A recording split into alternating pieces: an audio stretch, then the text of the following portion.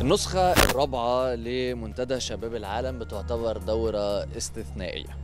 بيشارك فيها عدد كبير من الشباب والشخصيات المؤثرة حول العالم في وقت فيه العالم بيتعافى من الآثار الخاصة بجائحة كورونا.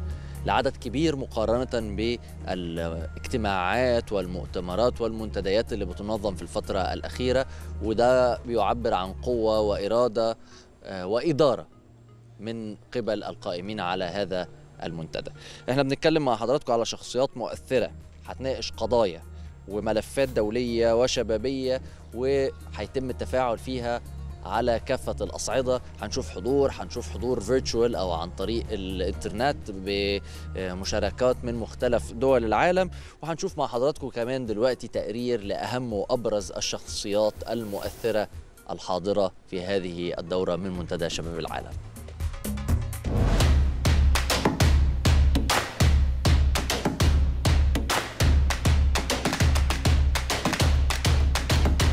النسخة الرابعة من منتدى شباب العالم جاءت محملة بقضايا جديدة وأفكار استثنائية يشارك فيها عدد كبير من الشباب حول العالم.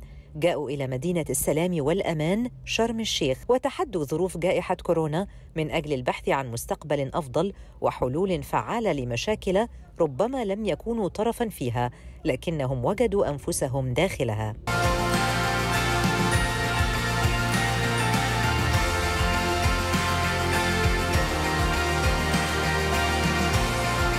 المنتدى في هذه الدورة الاستثنائية شارك فيه عدد من الشباب المؤثر حول العالم. جاءوا هذه القمة الشبابية العالمية من أجل بحث عدد من القضايا والملفات والتفاعل معها على نطاق واسع.